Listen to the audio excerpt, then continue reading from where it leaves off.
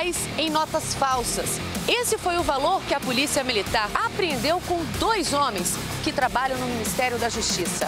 Vem comigo porque eu vou contar essa história agora no DF Alerta, que já está no ar.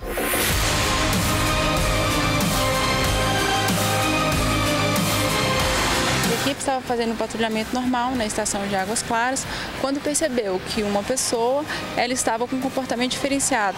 Ficou bastante nervosa ao avistar a polícia. Foi feita a abordagem nesse homem e com ele foi encontrada uma certa quantia em dinheiro. O que chamou a atenção dos policiais é que o dinheiro estava dentro de um envelope na carteira dele. Uma quantia que não é muito usual alguma pessoa andar levando por aí. Ele estava na estação de Águas Claras. Disse que levaria o dinheiro para o amigo no local onde eles trabalham, no Ministério da Justiça. Quanto seria essa quantia?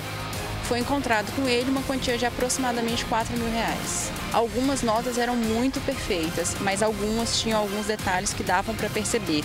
Então isso gerou a suspeita da equipe policial, que fez uma entrevista com ele e de fato ele confirmou que as notas eram falsificadas. E ele decidiu abrir ainda mais o jogo disse que o amigo dele tinha mais grana falsificada no local onde trabalha, no Ministério da Justiça. A PM foi até o local e dentro da sala, um local onde esse amigo trabalhava, encontrou todo o dinheiro. Ele conversou com a equipe policial e chegou a dizer que ele tinha um amigo com mais notas falsas. Esse amigo era um funcionário terceirizado de um dos ministérios onde estava a maior parte do dinheiro falsificado. A equipe se deslocou até o local, foi feita a abordagem e aí nós percebemos a presença de várias notas falsas. Segundo a informação do primeiro homem que foi preso pela polícia, eles compravam e revendiam o dinheiro falso. Compravam na internet. Só que agora tudo vai ser investigado pela Polícia Federal. Foram apreendidos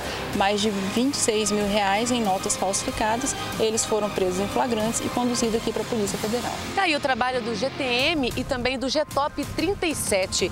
Wilson Souza Soares, Ismael Costa Aleixo estão aqui na Polícia Federal que agora vai investigar para saber se eles fazem parte de alguma quadrilha especializada em falsificar dinheiro. DF Alerta. Falou, tá falado.